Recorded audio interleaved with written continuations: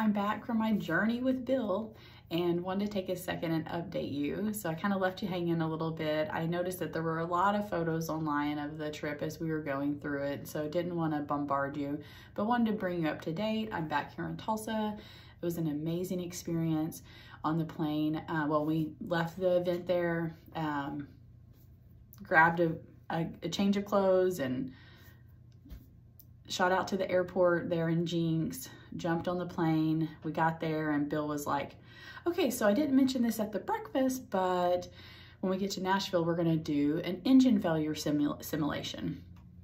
Uh, we were all like, you're gonna what? He's like, no, it's perfectly safe. We do it for practice. And so anyhow, we're like, okay, sure, why not? Let's do an engine failure simu simulation. So, uh, so we got on the plane and we talked mostly about mindset. He asked each of us um, a mindset shift that we've had in the business um, that's been helpful in a couple of areas that we're stuck on and um, would love to talk more about that um, later on uh, when time permits. And we got to Maury County Airport. Bill was an amazing pilot. I felt safe the whole time.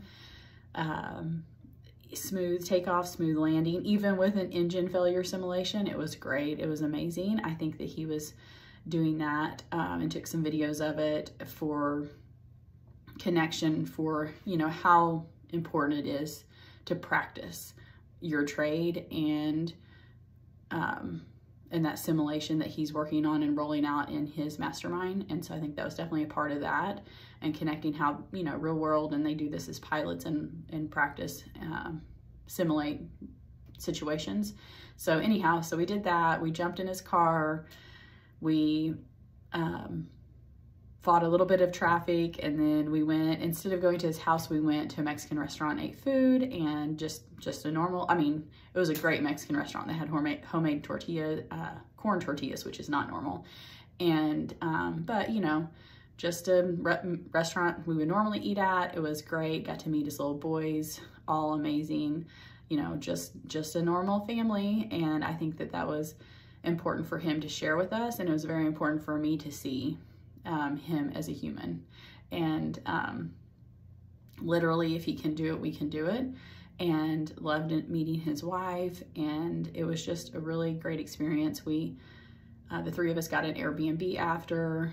Uh, Lisa caught a flight really early and then Amy and I caught a little bit later flight and got home last night about in the evening and here I am. So definitely some great takeaways that I'll be able to talk to you guys about in the future and maybe next time I see you. So have a good one.